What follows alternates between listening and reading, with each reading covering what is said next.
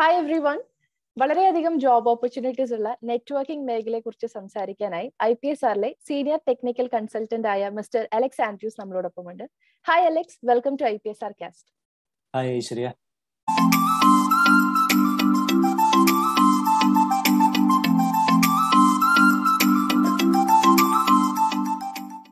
I P S ആറിലെ job portal എടുത്ത് നോക്കിയാൽ ടോപ്പ് മൾട്ടിനാഷണൽ കമ്പനീസിൽ പ്ലേസ്ഡ് ആയിട്ടുള്ള ഒരുപാട് സ്റ്റുഡൻസിനെ കാണാം. അതിൽ ഭൂരിഭാഗം പേരും നെറ്റ്വർക്കിംഗ് ഫീൽഡിലാണ് പ്ലേസ്ഡ് ആയിട്ടുള്ളത്. സോ നെറ്റ്വർക്കിംഗ് ഇല്ലാണ്ട് നമുക്ക് ജീവിക്കാൻ പോലും പറ്റാത്ത ഒരു അവസ്ഥയിലായിട്ടുണ്ട്. So what is the real concept of networking അത് എങ്ങനെയാണ് നമ്മളുടെ ഒരു ഡെയിലി ലൈഫിനെ എഫക്ട് ചെയ്യുന്നത്? അതെ ഐശ്വര്യ പറഞ്ഞത് കറക്റ്റ് ആണ്. നമ്മളിപ്പം ഇന്നത്തെ കാലത്ത് ഇപ്പോൾ ഒരു സാധാരണ എല്ലാ ദിവസവും ന്യൂസ് പേപ്പർ വായിക്കുമ്പോഴത്തേക്കിനും അതിനകത്തും നെറ്റ്വർക്കിംഗ് എന്ന് പറയുന്ന ഒരു ടേം കാണാനായിട്ട് സാധിക്കും. ഇനി അതല്ല എന്തെങ്കിലും ബിസിനസിന്റെ ആവശ്യമായിട്ട് നമ്മളിപ്പോൾ ഇന്റർനെറ്റിനകത്ത് വഴി സെർച്ച് ചെയ്യുകയാണെങ്കിലും ഈ നെറ്റ്വർക്കിംഗ് എന്ന് പറയുന്ന ഒരു ടൈം കാണാൻ സാധിക്കും. ഇനി അത് മാത്രമല്ല നമ്മളിപ്പോൾ എന്തെങ്കിലും ഒരു ജോബ് സെർച്ച് ചെയ്യുകയാണെന്നുണ്ടെങ്കിൽ ഏതെങ്കിലും ആർട്ടിക്കിൾസ് ഒക്കെ വായിക്കാൻ പോയി കഴിഞ്ഞാലും നെറ്റ്വർക്കിംഗ് എന്ന് പറയുന്ന ഒരു ടേം നമുക്ക് അതിനകത്ത് കാണാനായിട്ട് സാധിക്കും. അപ്പൊ ശരിക്കും നമ്മൾ മനസ്സിലാക്കേണ്ട കാര്യം എന്താണ് ഈ നെറ്റ്വർക്കിങ്ങിന് ഇത്രയും അധികം പ്രാധാന്യം നമ്മുടെ ഇടയിൽ അർഹിക്കുന്നത് എന്നുള്ള ഒരു കാര്യമാണ്. അപ്പൊ അത് മനസ്സിലാകാനായിട്ട് ഞാനൊരു രണ്ട് ഉദാഹരണങ്ങൾ സഹിതം ഞാനത് എക്സ്പ്ലെയിൻ ചെയ്തു തരാം. ഇപ്പം ഒരു ഉദാഹരണം എടുക്കുകയാണെങ്കിൽ നമുക്കിപ്പോൾ ഒരു വാഹനം വാങ്ങണം. അപ്പൊ ഈ ഒരു വാഹനം വാങ്ങാനായിട്ട് നമ്മളിപ്പോൾ ഒരു വെഹിക്കിൾ ഷോറൂമിലേക്ക് ചെല്ലുമ്പോഴത്തേക്കിന് അത് ഏത് ബ്രാൻഡിന്റെതുമായിക്കോട്ടെ പ്രശ്നമില്ല. അപ്പൊ നമ്മൾ അവിടുന്ന് നമുക്ക് ഇഷ്ടപ്പെട്ട ഒരു വാഹനം വാങ്ങുന്നു. അത് വാങ്ങിക്കഴിഞ്ഞതിന് ശേഷം നമുക്ക് അതുമായിട്ട് ബന്ധപ്പെട്ട ഡോക്യുമെന്റ്സ് ഒക്കെ നമ്മൾ എവിടെ നിന്നാണോ മേടിച്ചത്? അവിടെ നിന്ന് നമുക്ക് ഇത് ലഭിക്കുന്നു. ഒരു പക്ഷേ നമ്മുടെ വീടിന്റെ സൈഡിൽ നിന്നും ഒത്തിരി ദൂരെ നിന്നായിരിക്കും നമ്മൾ ഈ ഒരു വാഹനം പർച്ചേസ് ചെയ്തത് പക്ഷെ ഇതിന്റെ മെയിന്റനൻസ് നടത്താനായിട്ട് നമ്മൾ ഇത് എവിടെ നിന്നാണോ ഇത് പർച്ചേസ് ചെയ്തത് അങ്ങോട്ടേക്ക് തന്നെ പോകണമെന്ന് നിർബന്ധമൊന്നുമില്ല. ആ ഒരു വാഹനത്തിന്റെ ബ്രാൻഡ് ഏതാണോ ആ ബ്രാൻഡിന്റെ ഏത് ബ്രാഞ്ചിൽ പോയി കഴിഞ്ഞാലും നമ്മളുടെ ഡോക്യുമെന്റ്സ് കറക്റ്റ് ആയിട്ട് കാണിക്കുകയാണെന്നുണ്ടെങ്കിൽ പർച്ചേസിങ് അല്ലെങ്കിൽ നമുക്ക് ബാക്കിയുള്ള കാര്യങ്ങൾ അതുമായിട്ട് ബന്ധപ്പെട്ട മെയിന്റനൻസ് കാര്യങ്ങളെല്ലാം നടക്കും. അപ്പം ഇതെങ്ങനെയാണ് നടക്കുന്നത്? അല്ലെങ്കിൽ നമ്മൾ ഒരു വാലിഡ് കസ്റ്റമർ ആണ്. ആ ഒരു ബ്രാൻഡഡ് കമ്പനിയുടെ വാലിഡ് കസ്റ്റമർ ആണെന്ന് എങ്ങനെ അവിടെ ഇരിക്കുന്ന ജോലിക്കാർക്ക് മനസ്സിലാകുന്നു നെറ്റ്വർക്കിംഗ് അതായത് ആ ഒരു കമ്പനി എവിടെയൊക്കെ നിലനിൽക്കുന്നുണ്ടോ അതുമായിട്ട് ബന്ധപ്പെട്ടിട്ടുള്ള കംപ്ലീറ്റ് ഡീറ്റെയിൽസ് ഇവരുടെ ഏത് ബ്രാഞ്ചിൽ ചെന്ന് കഴിഞ്ഞാലും നമുക്ക് ലഭ്യമാണ്. അപ്പം അവിടെ ഒത്തിരി ജോലിക്കാരുണ്ട് അവർക്ക് ജോലി സാധ്യതകൾ അവിടെയുണ്ട്. നമ്മുടെ ഡീറ്റെയിൽസ് നോക്കിയിട്ട് നമുക്ക് വേണ്ട കാര്യങ്ങളൊക്കെ അവർ അവരുടെ ബ്രാഞ്ചിൽ നിന്ന് നമുക്ക് ചെയ്തു തരുന്നു. അത് ഒരു ഉദാഹരണം. ഇനി രണ്ടാമതൊരു കാര്യം പറയുകയാണെന്നുണ്ടെങ്കിൽ നമുക്കിപ്പം ഇപ്പം ഞാൻ ഈ പറഞ്ഞ വാഹനത്തിന്റെ ഉദാഹരണം എന്ന് പറയുന്നത് ഒരു ചെറിയ ഒരു ലൊക്കാലിറ്റിയിൽ മാത്രം ഒതുങ്ങി നിൽക്കുന്ന ഒരു കാര്യമാണ്. ഒരു സ്റ്റേറ്റിനുള്ളിലൊക്കെ ഒതുങ്ങി നിൽക്കുന്ന കാര്യമാണ്. അതേ സമയത്ത് നമുക്ക് ജിയോഗ്രാഫിക്കൽ ലൊക്കേഷൻസിനെ ഭേദിച്ചിട്ട് നമുക്ക് പുറത്തോട്ട് പോകണം അതായത് മറ്റ് രാജ്യത്തുള്ള എന്തെങ്കിലും ബിസിനസ് ഡീൽസ് ഒക്കെ നടത്തണമെന്നുണ്ടെങ്കിൽ നമുക്ക് എന്ത് ആവശ്യമുണ്ട്? നെറ്റ്വർക്കിംഗ് ആവശ്യമുണ്ട്. അപ്പൊ അതിന് വേണ്ടിയിട്ട് നമ്മൾ സാധാരണ യൂസ് ചെയ്യുന്ന നമ്മളുടെ മൊബൈൽ ഫോൺ നമ്മൾ ചുമ്മാ ഒരു ഇൻഡിവിജ്വൽ ആയിട്ട് ഒരു മൊബൈൽ ഫോൺ പിടിച്ചുകൊണ്ടിരുന്നിട്ടോ അല്ലെങ്കിൽ ഒരു കമ്പ്യൂട്ടർ വെറുതെ നമ്മളുടെ ഫ്രണ്ടിൽ നമ്മൾ അതിനകത്ത് എന്തെങ്കിലും കാര്യങ്ങളൊക്കെ കുത്തിക്കുറിച്ചുകൊണ്ടിരുന്നിട്ട് ഒന്നും കാര്യമില്ല. ഈ ഒരു മൊബൈൽ ഫോൺ ആയാലും അല്ലെങ്കിൽ കമ്പ്യൂട്ടർ ആയാലും ഇത് എന്തുമായിട്ട് കണക്റ്റഡ് ആയിരിക്കണം? ഈ ജിയോഗ്രാഫിക്കൽ ലൊക്കേഷൻ അപ്പുറമുള്ള ഒരു കൺട്രിയെ തമ്മിൽ കണക്ട് ചെയ്യുന്ന ഒരു നെറ്റ്വർക്കുമായിട്ട് ഇത് കണക്റ്റഡ് ആയിരിക്കണം. ഞാൻ ഈ പറഞ്ഞതിൽ നിന്ന് തന്നെ നിങ്ങൾക്ക് എല്ലാവർക്കും മനസ്സിലാകുന്ന കാര്യമാണ്. ഏറ്റവും വലിയ നെറ്റ്വർക്ക് അല്ലെങ്കിൽ നെറ്റ്വർക്ക് ഓഫ് നെറ്റ്വർക്ക് എന്ന് പറയുന്നതാണ് നമ്മൾ ഇപ്പോൾ യൂസ് ചെയ്തുകൊണ്ടിരിക്കുന്ന ഇന്റർനെറ്റ് എന്ന് പറയുന്നത്. ഇന്റർനെറ്റ് ഇല്ലാതെ നമുക്ക് ജീവിക്കാൻ പറ്റില്ല എന്നൊരു സാഹചര്യത്തിലേക്ക് ഇന്നത്തെ കാലയളവിലേക്ക് വന്നിട്ടുണ്ട്. അപ്പം ഈ ഒരു റിക്വയർമെന്റ് ആണ് ശരിക്കും പറഞ്ഞു കഴിഞ്ഞാൽ നെറ്റ്വർക്കിനെ ആൾക്കാരുടെ ഇടയിൽ കൂടുതലായിട്ടും ഇമ്പോർട്ടൻസ് ഇന്നത്തെ കാലത്ത് നൽകിക്കൊണ്ടിരിക്കുന്നത്. അപ്പോൾ ഒരു പ്രൊഡക്ഷൻ നെറ്റ്വർക്കിൽ എങ്ങനെയാണ് ഒരു നെറ്റ്വർക്ക് ഐഡന്റിഫൈ ചെയ്ത് അത് കറക്റ്റ് ആയിട്ടുള്ള ഒരു പ്രോപ്പർ നെറ്റ്വർക്ക് ചൂസ് ചെയ്യുന്നത്? ഓക്കെ അപ്പൊ നെറ്റ്വർക്കിംഗ് എന്ന് പറയുന്നത് ശരിക്കും പറഞ്ഞു കഴിഞ്ഞാൽ പല ടൈപ്പ് ഉണ്ട്. അതായത് നമ്മുടെ ആപ്ലിക്കേഷനെ ഡിപ്പെൻഡ് ചെയ്തിരിക്കും നമ്മൾ ഏത് ടൈപ്പ് നെറ്റ്വർക്ക് സെലക്ട് ചെയ്യണമെന്നുള്ളത് ഇപ്പൊ ഒരു ഉദാഹരണം പറയുകയാണെങ്കിൽ ചെറിയ ഒരു ഇന്റർനെറ്റ് കഫേ ഈ ഇന്റർനെറ്റ് കഫേക്കകത്ത് നാലോ അഞ്ചോ മെഷീൻസ് മാത്രമേ കാണത്തുള്ളൂ. അപ്പൊ ഈ നാലോ അഞ്ചോ മെഷീൻസിനെ നമ്മൾക്ക് ഒന്ന് ഇന്റർ കണക്ട് ചെയ്യാനായിട്ട് നെറ്റ്വർക്കിൽ നെറ്റ്വർക്കിംഗ് സ്വിച്ച് എന്നൊക്കെ പറയുന്ന ഡിവൈസ് ഉണ്ട്. അപ്പൊ ഈ ഡിവൈസ് മേടിച്ചു കഴിഞ്ഞാൽ വളരെ എളുപ്പത്തിൽ നമുക്ക് ആ ഒരു കോൺഫിഗറേഷൻ അവിടെ ചെയ്തെടുക്കാനായിട്ട് സാധിക്കും. അത് വളരെ ചെറിയൊരു ഉദാഹരണമാണ്. ഇനി രണ്ടാമത്തേത് ഞാൻ ആദ്യമേ പറഞ്ഞതുപോലെ തന്നെ പല ബ്രാഞ്ചുകളുള്ള ഒരു ബ്രാഞ്ച് അല്ലെങ്കിൽ ഒരു കമ്പനി എടുത്തു കഴിഞ്ഞാൽ ഇപ്പം നമ്മളുടെ കേരളം വെച്ച് നോക്കുകയാണെന്നുണ്ടെങ്കിൽ ഇപ്പൊ കേരളത്തിൽ പതിനാല് ജില്ലകളുണ്ട്. ഇപ്പൊ ഒരു കമ്പനിക്ക് ഈ പതിനാല് ജില്ലകളിലും അവരുടെ ബ്രാഞ്ചസ് ഉണ്ട് എന്നുണ്ടെങ്കിൽ ഓരോ ജില്ലകളിലും ഇവർ തമ്മിൽ അങ്ങോട്ടും ഇങ്ങോട്ടും കമ്മ്യൂണിക്കേഷൻ വേണം. അപ്പൊ അതിനനുസരിച്ചിട്ടുള്ള ഒരു കോൺഫിഗറേഷൻ സെറ്റപ്പ് അവിടെ ക്രിയേറ്റ് ചെയ്യേണ്ടതായിട്ട് വരും. അതായത് നമ്മൾ ഉദ്ദേശിക്കുന്നതിനേക്കാളും വലിപ്പമുള്ള ഒരു നെറ്റ്വർക്ക് അവിടെ ക്രിയേറ്റ് ചെയ്യേണ്ടതായിട്ട് വരും. അപ്പൊ അങ്ങനെ ക്രിയേറ്റ് ചെയ്യുമ്പോഴത്തേക്കിന് അവിടെ കൂടുതൽ പവർഫുൾ ആയിട്ടുള്ള ഡിവൈസസ് നമുക്ക് വേണ്ടതായിട്ട് വരും. ഈ പറഞ്ഞതുപോലെ ഇന്റർനെറ്റ് കണക്ഷൻസ് അവിടെ വേണ്ടിയതായിട്ട് വരും. അങ്ങനത്തെ കാര്യങ്ങളൊക്കെ നടക്കും. ഇനി അതല്ല മറ്റൊരു ഉദാഹരണം പറയുകയാണെങ്കിൽ നമ്മളിപ്പോൾ വീടുകളിൽ cable T V connections use ചെയ്യാറുണ്ട്. അപ്പൊ ഈ cable T V connection use ചെയ്യുമ്പോഴത്തേക്കും നമുക്കറിയാം അതൊരു ഗ്രാമം മൊത്തത്തിൽ അല്ലെങ്കിൽ ഒരു മുനിസിപ്പാലിറ്റി മൊത്തത്തിലായിരിക്കും ആ ഒരു നെറ്റ്വർക്ക് കിടക്കുന്നത്. അപ്പൊ ആ രീതിയിൽ നെറ്റ്വർക്ക് ക്രിയേറ്റ് ചെയ്യുമ്പോൾ ശരിക്കും പറഞ്ഞു കഴിഞ്ഞാൽ നമ്മൾ ആദ്യമേ പറഞ്ഞ രണ്ട് ഉദാഹരണങ്ങൾക്ക് മിഡിൽ റേഞ്ചിൽ നിൽക്കുന്ന ഒരു ടൈപ്പ് നെറ്റ്വർക്ക് അതായത് വളരെ ചെറുതുമല്ല എന്നാൽ അത്രയ്ക്ക് വലുതുമല്ല. അപ്പൊ അങ്ങനെ വരുമ്പോഴത്തേക്കിന് ആ രീതിയിലുള്ള ഡിവൈസുകളൊക്കെ നമ്മൾ മാർക്കറ്റിൽ നിന്നും പർച്ചേസ് ചെയ്യുന്നു. അങ്ങനെ പർച്ചേസ് ചെയ്തതിന് ശേഷം നെറ്റ്വർക്കിംഗ് ക്രിയേറ്റ് ചെയ്ത് ഉപയോഗിക്കുകയാണ് ഉണ്ടാകുന്നത്. അപ്പോൾ ഒരു പ്രൊഡക്ഷൻ എൻവയോൺമെന്റിനെ നമ്മൾ സെലക്ട് ചെയ്യുമ്പോഴത്തേക്കിന് തീർച്ചയായിട്ടും ആ ഒരു എൻവയോൺമെന്റിൽ നമ്മൾ കസ്റ്റമേഴ്സിന് എന്ത് ടൈപ്പ് പ്രോഡക്റ്റ് ആണോ കൊടുക്കുന്നത് ആ ഒരു പ്രോഡക്റ്റിനെ ഡിപ്പെൻഡ് ചെയ്തിരിക്കും ഏത് ടൈപ്പ് നെറ്റ്വർക്ക് നമ്മൾ ചെയ്യുക എന്നുള്ളത്. അപ്പൊ ആ രീതിയിലുള്ള നെറ്റ്വർക്കിംഗ് ടൈപ്പുകളാണ് നമ്മൾ സാധാരണയായിട്ട് കേട്ടുവരുന്ന ലോക്കൽ ഏരിയ നെറ്റ്വർക്ക് അല്ലെങ്കിൽ wide area network metropolitan area network personal area network campus area network എന്നൊക്കെ പറഞ്ഞ് പല ടൈപ്പിലുള്ള നെറ്റ്വർക്ക് ഉണ്ട്.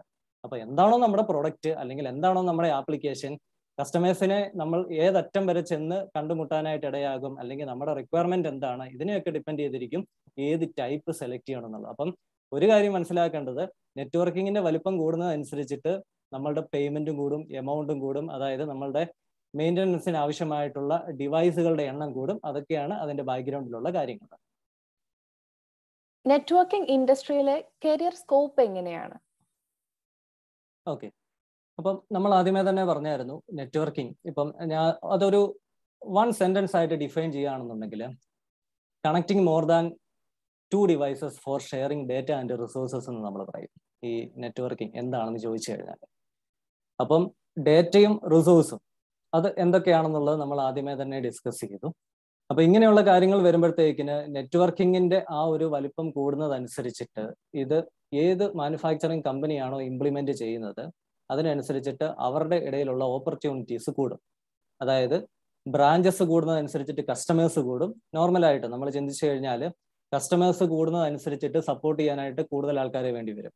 അപ്പം ബ്രാഞ്ചസ് കൂടുന്നതനുസരിച്ചിട്ട് അവിടെ കൂടുതൽ ആൾക്കാരെ വേണ്ടി വരും. അങ്ങനെ ഈ ഒരു കമ്പനി വളർന്നുകൊണ്ടിരിക്കുന്നതിനനുസരിച്ചിട്ട് നെറ്റ്വർക്കിംഗ് ഓപ്പർച്യൂണിറ്റീസും വളരെയധികം കൂടി വരും. ഇനിയുള്ള കാലങ്ങളിൽ ഇത് കുറയാനായിട്ട് പോകുന്നില്ല. എന്നാന്ന് ചോദിച്ചു കഴിഞ്ഞാൽ നമുക്കറിയാം ഏതൊരു കാര്യം എടുത്തു കഴിഞ്ഞാലും വളരെ ചെറിയൊരു കാര്യം എടുത്തു കഴിഞ്ഞാലും ഇനി ഏറ്റവും മുകളിൽ നിൽക്കുന്ന ഇപ്പം ട്രേഡിങ്ങോ അല്ലെങ്കിൽ വളരെ ഹൈ ആയിട്ടുള്ള ബിസിനസ് ഇപ്പൊ സ്റ്റോക്ക് മാർക്കറ്റിംഗ് പോലെയുള്ള ബിസിനസ് പോലെ ഉള്ള കാര്യങ്ങൾ നമ്മൾ എടുത്തു കഴിഞ്ഞാൽ പോലും ഇവിടങ്ങളിലെല്ലാം ചെറിയ രീതി മുതൽ വലിയ രീതി വരെയുള്ള നെറ്റ്വർക്കിംഗ് നിലനിൽക്കുന്ന ഒരു സാഹചര്യത്തിലാണ് നമ്മൾ വന്നിരിക്കുന്നത്. എന്തിന് നമ്മൾ ഒത്തിരി കാര്യങ്ങൾ പറയുന്നു? ഇപ്പം കൊറോണയുടെ സിറ്റുവേഷൻസ് ഒക്കെ വന്നു കഴിഞ്ഞപ്പോഴത്തേക്കിന് ഒരു കാരണവശാലും നമ്മൾ ഇന്റർനെറ്റിന്റെ ഒരു സാന്നിധ്യം ആഗ്രഹിക്കാത്ത സ്ഥലങ്ങളിൽ പോലും ഇന്റർനെറ്റ് വന്നു കയറിയിട്ടുണ്ട്. അല്ലെങ്കിൽ ഇന്റർനെറ്റ് തീരെ താല്പര്യമില്ലാത്ത ആൾക്കാരുടെ ഇടയിൽ പോലും എസ്പെഷ്യലി ഒരു മിഡിൽ ഏജ്ഡ് ആയിട്ടുള്ള ആൾക്കാരുടെ ഇടയിൽ പോലും ഇന്റർനെറ്റിന്റെ അവയർനെസ് കൂടുതലായിട്ട് കയറി വന്നിട്ടുണ്ട്. അപ്പൊ അവരതിനെപ്പറ്റി കൂടുതലായിട്ട് പഠിക്കുകയും ഇന്നത്തെ കാലത്ത് ഇതിന്റെതായിട്ടുള്ള ആ ഒരു അവസരങ്ങൾ എന്തൊക്കെയാണെന്ന് മനസ്സിലാക്കുകയും ചെയ്തിട്ടുണ്ട്. അപ്പൊ ഇനിയുള്ള കാലങ്ങളിൽ ഇപ്പൊ എന്ത് പ്രോഡക്റ്റ് ഇംപ്ലിമെന്റ് ചെയ്ത് കഴിഞ്ഞാലും അതിന്റെ ബാക്ക് സൈഡിൽ ഒരു ബിഗ് നെറ്റ്വർക്ക് കാണും. അപ്പൊ ബിഗ് നെറ്റ്വർക്ക് തീർച്ചയായിട്ടും ഉണ്ടെന്നുണ്ടെങ്കിൽ അതിന് ധാരാളം ബ്രാഞ്ചസ് ഉണ്ടാവും. അങ്ങനെ ബ്രാഞ്ചസ് ഉണ്ടെങ്കിൽ നമുക്ക് നെറ്റ്വർക്കിംഗ് ഓപ്പർച്യൂണിറ്റീസും വളരെയധികം കൂടി വരും. നെറ്റ്വർക്കിംഗ് കോഴ്സസ് ചെയ്യാനായിട്ട് എന്തെങ്കിലും ബേസിക് ക്വാളിഫിക്കേഷൻ വേണോ? ബേസിക് ക്വാളിഫിക്കേഷൻ എന്ന് പറഞ്ഞു കഴിഞ്ഞാൽ ശരിക്കും പറഞ്ഞാൽ നമുക്ക് ഇതിനോട് ഒരു ഇൻട്രസ്റ്റ് ആണ് വേണ്ടത്. ഇപ്പൊ നെറ്റ്വർക്കിംഗ് കോഴ്സ് പഠിക്കാനായിട്ട് ഓക്കെ നമ്മുടെ നാടിനെ സംബന്ധിച്ചിടത്തോളം സാധാരണ രീതിയിൽ ഒരു ക്വാളിഫിക്കേഷൻ എന്ന് പറയുമ്പോൾ നമുക്ക് ടെൻത്ത് പാസ്സായിരിക്കണം അല്ലെങ്കിൽ ട്വൽത്ത് പാസ്സായിരിക്കണം ഇതൊക്കെ എല്ലാ കാര്യങ്ങൾക്കും.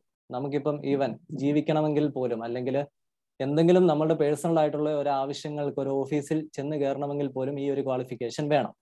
അപ്പൊ അത് വേണ്ട എന്ന് നമുക്ക് പറയാനായിട്ട് പറ്റത്തില്ല. പക്ഷെ ഈ ഒരു ട്വൽത്ത് കഴിഞ്ഞതിന് ശേഷം ഒരു ഡിഗ്രി വേണോ നെറ്റ്വർക്കിംഗ് പഠിക്കാൻ? അല്ലെങ്കിൽ ഒരു ഡിപ്ലോമ വേണമോ എന്ന് ചോദിച്ചു കഴിഞ്ഞാൽ നോ എന്ന് തന്നെയാണ് അതിനൊരു ആൻസർ പിന്നീട് എന്തിന് നമ്മൾ ഒരു ക്വാളിഫിക്കേഷനെ തേടി പോകുന്നു എന്ന് ചോദിച്ചു കഴിഞ്ഞാൽ നമ്മൾ ഏതൊരു ഫീൽഡ് എടുത്തു കഴിഞ്ഞാലും അതിനകത്തെ ബെറ്റർ ഓപ്പർച്യൂണിറ്റീസ് ആണല്ലോ നമ്മൾ സെർച്ച് ചെയ്യുന്നത്. അപ്പോൾ ബെറ്റർ ഓപ്പർച്യൂണിറ്റീസ് കിട്ടാനായിട്ട് എപ്പോഴും നമുക്ക് ഹയർ ക്വാളിഫിക്കേഷൻസ് ഉള്ളത് നല്ലതാണ്. ഇനി നെറ്റ്വർക്കിംഗ് പഠിക്കുന്നതിലോട്ട് വരാം. നെറ്റ്വർക്കിംഗ് പഠിക്കുക എന്ന് പറയുന്നത് ശരിക്കും പറഞ്ഞു കഴിഞ്ഞാൽ നമ്മളിപ്പോൾ ഒരു കോളേജിൽ പോയിട്ട് ഏതെങ്കിലും ഒരു സബ്ജക്ട് പഠിക്കുന്നു. ഈ സബ്ജക്റ്റിന് ഒരു എക്സാമിനേഷൻ നടത്തുമ്പോഴത്തേക്കിന് അതിന് ഫുൾ മാർക്ക് മേടിക്കുക. ആ ഒരു രീതിയിൽ നമുക്ക് ഇതിനെ കാണാനായിട്ട് പറ്റത്തില്ല. ഇത് ശരിക്കും പറഞ്ഞു കഴിഞ്ഞാൽ ഒരു സ്കില്ല അതായത് ഒരു നല്ല ഉദാഹരണം പറയുകയാണെന്നുണ്ടെങ്കിൽ നമ്മളിപ്പോൾ ഡ്രൈവിംഗ് പഠിക്കുകയാണ്.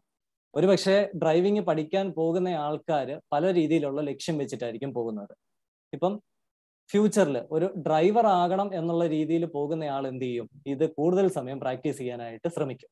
അതായത് അദ്ദേഹത്തിന് അറിയാം അദ്ദേഹം ഡ്രൈവ് ചെയ്യുന്ന വാഹനം മാത്രം അദ്ദേഹം ഉപയോഗിച്ചാൽ പോരാ. ഒരു ഡ്രൈവിംഗ് പണിക്ക് ഇറങ്ങുമ്പോഴത്തേക്കിന് മറ്റ് പല വാഹനങ്ങളും അതായത് ഇപ്പം ഡ്രൈവിംഗ് പഠിപ്പിക്കുന്ന ഒരു കാർ ഓടിക്കാൻ നമ്മൾ പഠിച്ചു എന്ന് കരുതി മറ്റെല്ലാ കാറുകളും നമുക്ക് ഓടിക്കാൻ പറ്റണമെന്നില്ല. മറ്റൊരു കാറിലോട്ട് നമ്മൾ കയറി കഴിഞ്ഞാൽ ഒരു പക്ഷേ നമ്മുടെ കാൽ പറയ്ക്കും എന്ന് പറയുന്ന പോലെ തന്നെയാണ്. അപ്പം കൂടുതൽ എക്സ്പീരിയൻസ് അതായത് നമ്മൾ പഠിച്ചിട്ടുള്ള ആ ഒരു സ്കില്ല് പല സ്ഥലങ്ങളിൽ പ്രയോഗിക്കുക എന്നുള്ള ഒരു കാര്യമാണ് ഡ്രൈവിംഗ് പോലെയുള്ള മേഖലകളിൽ നമുക്ക് വരുന്നത് ഒരു പെർഫെക്റ്റ് ഡ്രൈവർ എന്ന് പറയുന്നത് അദ്ദേഹം ലൈസൻസ് എടുക്കാൻ വേണ്ടിയിട്ട് മാത്രമല്ല ഈ ഡ്രൈവിംഗ് പഠിക്കുന്നത്. എന്ന് പറഞ്ഞതുപോലെ തന്നെയാണ് നെറ്റ്വർക്കിംഗ് കോഴ്സ് എന്ന് പറയുന്നത്. നെറ്റ്വർക്കിംഗ് കോഴ്സ് എന്ന് പറയുന്നത് നമുക്ക് പരിചയമില്ലാത്ത കുറേയധികം ഡിവൈസുകളും കുറേയധികം ടെർമിനോളജികളും ഇനി ഫ്യൂച്ചറിൽ നമ്മളുടെ ലൈഫിൽ നമ്മൾ കാണാൻ പോകുന്ന കുറേയധികം കാര്യങ്ങളും ഇതിനെപ്പറ്റിയുള്ള ഒരു നല്ല രീതിയിലുള്ള ഡീപ്പായിട്ടുള്ള ഒരു നോളജ് ആണ് നമ്മൾ ഇത് പഠിക്കാൻ വരുന്ന ആൾക്കാരിലേക്ക് പകർന്നു കൊടുക്കുന്നത്. അപ്പം ആ ഒരു സ്കില്ല് കിട്ടുന്നത് വഴി ഇതിന്റെ ഫ്യൂച്ചറിലുള്ള ഇംപ്ലിമെന്റേഷൻസ് എവിടെയൊക്കെയാണ് എന്നുള്ള രീതിയിൽ നല്ല രീതിയിൽ റിസർച്ച് നടത്തുന്ന ഒരാളാണെന്നുണ്ടെങ്കിൽ തീർച്ചയായിട്ടും നെറ്റ്വർക്കിംഗ് മേഖലയിൽ ശോഭിക്കും. അല്ലാതെ നമ്മൾ പോയിട്ടൊരു നാൽപ്പത്തഞ്ച് ദിവസത്തെ ഒരു കോഴ്സ് പഠിക്കുന്നു. അല്ലെങ്കിൽ നമ്മൾ ഓൺലൈൻ ആയിട്ടാണെങ്കിൽ ഒരു കോഴ്സ് പഠിക്കുന്നു. അതിൽ നിന്ന് കംപ്ലീറ്റ് നമുക്കൊരു നെറ്റ്വർക്ക് എഞ്ചിനീയർ ആകാൻ പറ്റും എന്ന് പറയാനായിട്ട് പറ്റത്തില്ല. നിരന്തരമായിട്ട്. അതായത് ഓരോ ദിവസവും നമ്മളുടെ മാർക്കറ്റിൽ അല്ലെങ്കിൽ നമ്മളുടെ ടെക്നോളജിയിൽ വരുന്ന മാറ്റങ്ങൾ നല്ല രീതിയിൽ ശ്രദ്ധിക്കുന്ന ആൾക്കാർക്കും അതിനെ ഫോളോ ചെയ്യുന്ന ആൾക്കാർക്കുമായിരിക്കും ഇതിനകത്ത് കൂടുതൽ നല്ല നിലയിലേക്ക് എത്താനായിട്ട് സാധിക്കുന്നത്. അപ്പം ക്വാളിഫിക്കേഷൻ എന്ന് പറയുന്നത് ഇത് തന്നെയാണ്. നമുക്ക് ഇതിനോട് ഒരു ഇൻട്രസ്റ്റ് ഉണ്ടായിരിക്കണം. ഈ ഒരു കാര്യം ചെയ്യാനായിട്ട് ഇൻട്രസ്റ്റ് ഉണ്ടായിരിക്കണം. അല്ലെങ്കിൽ ഈ ഒരു സ്കില്ല് നമ്മളെ ഒരാൾ പഠിപ്പിച്ചു തരികയാണ്. ഒരു ഫാക്കൽറ്റി നമ്മളെ അതിന്റെ ഇൻട്രൊഡക്ഷനും കാര്യങ്ങളും എല്ലാം പഠിപ്പിച്ചു തരുന്നു. പിന്നീട് അത് വളർത്താനായിട്ട് നമ്മൾ തന്നെ സ്വയം ശ്രമിക്കണം. നെറ്റ്വർക്കിംഗ് പ്ലാറ്റ്ഫോമിലുള്ള ജോബ് റോൾസ് എന്തൊക്കെയാണെന്ന് ഒന്ന് എക്സ്പ്ലെയിൻ ചെയ്യാമോ? നെറ്റ്വർക്കിങ്ങിലേക്ക് സാധാരണ കടന്നു വരുന്നത് ഇപ്പൊ പ്ലസ് ടു കഴിഞ്ഞിട്ടുള്ള സ്റ്റുഡൻസ് അല്ലെങ്കിൽ ഡിഗ്രി കഴിഞ്ഞിട്ടുള്ള ഡിഗ്രി ഹോൾഡേഴ്സ് ഇവരൊക്കെ ഒരു സ്പെഷ്യലൈസേഷൻ കോഴ്സ് ചെയ്യാനായിട്ടാണ് ശരിക്കും നെറ്റ്വർക്കിങ്ങിലേക്ക് കടന്നു വരുന്നത്. അപ്പം നെറ്റ്വർക്കിങ്ങിനകത്ത് നമുക്ക് നോക്കുകയാണെന്നുണ്ടെങ്കിൽ ഫണ്ടമെന്റൽസ് ഓഫ് നെറ്റ്വർക്കിംഗ് അല്ലെങ്കിൽ basics of networking basics of hardware and networking ഇങ്ങനെ തുടങ്ങി പല കോഴ്സുകളും നിലവിൽ ലഭ്യമാണ്. ഇനി കുറച്ച് സ്റ്റാൻഡേർഡ് ആയിട്ടുള്ള കോഴ്സിലേക്ക് പോവുകയാണെന്നുണ്ടെങ്കിൽ ഇത്തരത്തിലുള്ള ഏറ്റവും കൂടുതൽ നെറ്റ്വർക്കിംഗ് ഡിവൈസുകൾ പ്രൊഡ്യൂസ് ചെയ്യുന്ന ഒരു സ്റ്റാൻഡേർഡൈസ്ഡ് കമ്പനിയാണ് സിസ്കോ അപ്പോൾ സിസ്കോ പ്രൊഡ്യൂസ് ചെയ്യുന്ന നെറ്റ്വർക്കിംഗ് കോഴ്സുകളുണ്ട് C C N A C C N B C C I E എന്നൊക്കെ പറഞ്ഞ് പേരിൽ അറിയപ്പെടുന്ന നെറ്റ്വർക്കിംഗ് കോഴ്സുകളുണ്ട് അപ്പം ഈ ഓരോ കോഴ്സുകളിലേക്ക് നമ്മൾ ഓരോ ചുവട് വെച്ച് പോവുകയാണെന്നുണ്ടെങ്കിൽ നമ്മൾ ഒരു കാരണവശാലും ഒറ്റയിരുപ്പിന് എല്ലാം കൂടെ പഠിക്കാം എന്നൊരു ഒറ്റയിരുപ്പിന് ഒറ്റയിരുപ്പിന് എല്ലാം കൂടെ പഠിക്കാം എന്നൊരു ചിന്ത നമ്മുടെ മനസ്സിലേക്ക് ഒരിക്കലും കൊണ്ടുവരുത് ഏറ്റവും ബേസിക് ആയിട്ടുള്ള കാര്യങ്ങൾ ആദ്യമേ പഠിച്ച് പഠിച്ച് എക്സ്പേർട്ട് ആകാനായിട്ടാണ് തീർച്ചയായിട്ടും ശ്രമിക്കേണ്ടത്. അപ്പൊ ആ ഒരു പാത്തുവയിലൂടെ പോകുന്ന ഒരാൾക്ക് നല്ല രീതിയിലുള്ള ജോബ് റോൾസ് നമ്മളുടെ ഇടയിൽ ഇന്ന് ലഭ്യമാണ്. ജോബ് റോൾസ് എന്ന് പറയുമ്പോഴത്തേക്കിന് എല്ലാവർക്കും അറിയാനായിട്ടുള്ള ഒരു ആഗ്രഹം എന്ന് പറയുന്നത് ഇതൊക്കെ പഠിച്ചിട്ട് ഒരു കമ്പനിയിൽ കയറി കഴിഞ്ഞാൽ ഏത് രീതിയിലുള്ള ജോലിയായിരിക്കും ചെയ്യുന്നതെന്നുള്ളതാണ് ഫസ്റ്റ് ഓഫ് ഓൾ നമ്മൾ ചെയ്യുന്നത് ഒരു ടെക്നിക്കൽ സപ്പോർട്ട് ആയിരിക്കും. അതായത് നമ്മളുടെ കമ്പനിക്ക് കമ്പനിയുടേതായിട്ടുള്ള പ്രൊഡക്റ്റ് ഉണ്ടാവും. ആ പ്രൊഡക്റ്റ് യൂസ് ചെയ്യാനായിട്ട് ധാരാളം കസ്റ്റമേഴ്സ് ഉണ്ടാവും. അപ്പം ഈ കസ്റ്റമേഴ്സിന് നമ്മളുടെ പ്രൊഡക്റ്റ് കൊടുത്തു കഴിയുമ്പോൾ കസ്റ്റമേഴ്സിന് അത് യൂസ് ചെയ്യുന്ന സമയത്ത് എന്തെങ്കിലുമൊക്കെ പ്രശ്നങ്ങൾ സംഭവിക്കാം. സ്വാഭാവികമായിട്ടും പ്രശ്നങ്ങൾ സംഭവിക്കാം. അങ്ങനെ പ്രശ്നങ്ങൾ വന്നു കഴിഞ്ഞാൽ അതിനെ ട്രബിൾ ഷൂട്ട് ചെയ്യണം. അതിപ്പം അതൊരു നെറ്റ്വർക്കിംഗ് റിലേറ്റഡ് ആയിട്ടുള്ള ഒരു എറർ ആണെന്നുണ്ടെങ്കിൽ തീർച്ചയായിട്ടും അവിടെ നെറ്റ്വർക്കിംഗ് അഡ്മിനിസ്ട്രേറ്റർ ആയിട്ട് നിൽക്കുന്ന ആളായിരിക്കണം അതിന് മുൻകൈ എടുക്കേണ്ടത്. അതാണ് ഒരു ജോബ് റോൾ എന്ന് പറയുന്നത്. പിന്നീടുള്ളതെന്ന് പറഞ്ഞു കഴിഞ്ഞാൽ നെറ്റ്വർക്ക് റിലേറ്റഡ് ട്രെയിനിങ്സ് ആണ്. അതായത് ട്രെയിനിങ് ചെയ്യാനായിട്ടൊക്കെ താല്പര്യമുള്ള ആൾക്കാരാണെന്നുണ്ടെങ്കിൽ തീർച്ചയായിട്ടും ഒത്തിരി കസ്റ്റമേഴ്സ് ഇതിനു വേണ്ടി തന്നെയുണ്ട് അതായത് നെറ്റ്വർക്കിംഗ് റിലേറ്റഡ് ആയിട്ടുള്ള കോഴ്സസ് ട്രെയിൻ ചെയ്തെടുക്കാനായിട്ട് ഒത്തിരി കസ്റ്റമേഴ്സ് വരുന്നുണ്ട്. അപ്പം ആ രീതിയിലുള്ള ഒരു ജോബ് റോൾ ലഭ്യമാണ്.